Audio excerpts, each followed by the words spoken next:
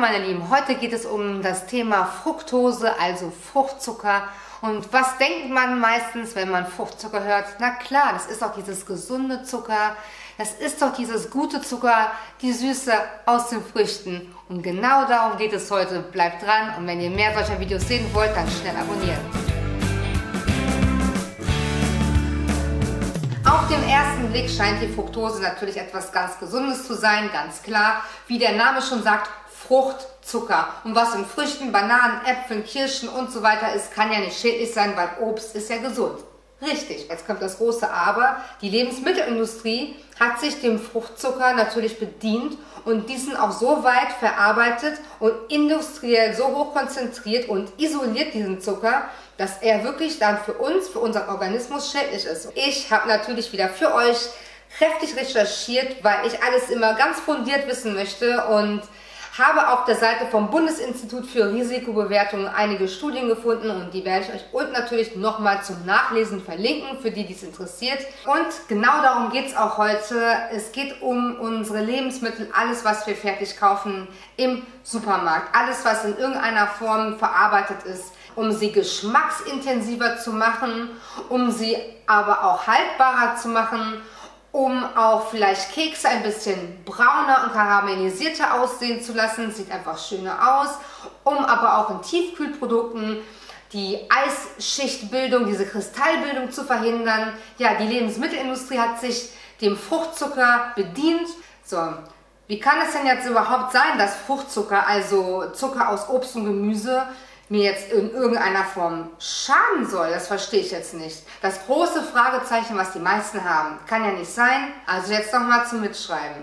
Wenn ihr in der Zutatenliste auf die Kohlenhydrate guckt, findet ihr darunter meistens auch den Begriff davon Zucker, so und so viel Gramm. Jetzt kommt aber der Clou.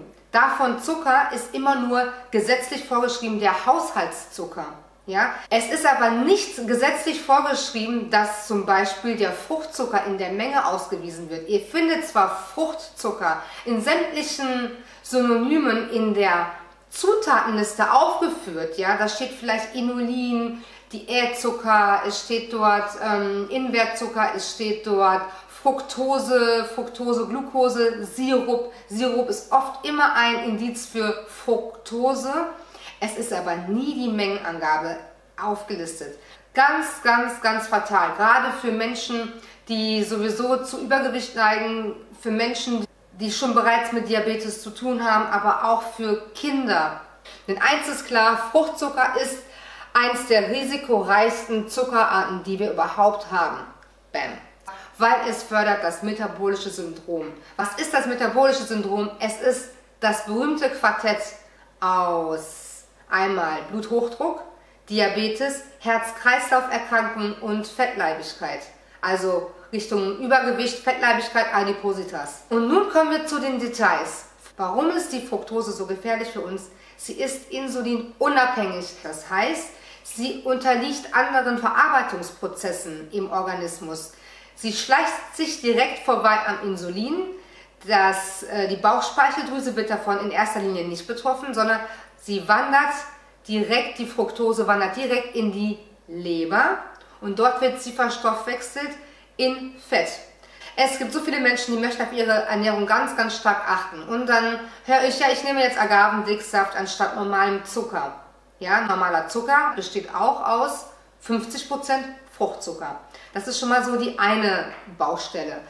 Dann nehme ich aber jetzt vielleicht Agavendicksaft. Agavendicksaft besteht zu 80% aus reiner Fructose. So, diese Person, die vielleicht aber eigentlich auf ihre Ernährung achten möchte, verhindert den Fettabbau mit gleichzeitiger Fetteinlagerung. Es fehlt auch zudem das Sättigungsgefühl. Wir haben im Körper das Hormon Leptin. Es sorgt dafür, dem Gehirn eine Rückmeldung zu geben, dass wir jetzt satt sind, die Fettdepots sind voll.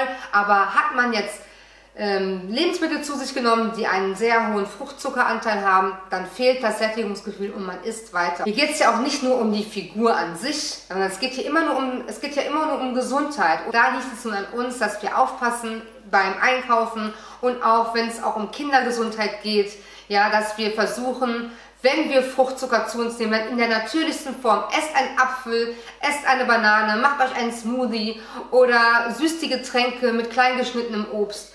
Immer lieber Finger weglassen von fertigen Produkten. Alles, was in irgendeiner Form fertig ist, schädigt natürlich auch in irgendeiner Form die Leber. Und auf Dauer, auf viele, viele Jahre, verliert man das Ganze aus den Augen. Dann kann das wirklich sein, dass man chronische Krankheiten bekommt und ja, darüber hinaus auch Karies. Ist ja auch nicht schön.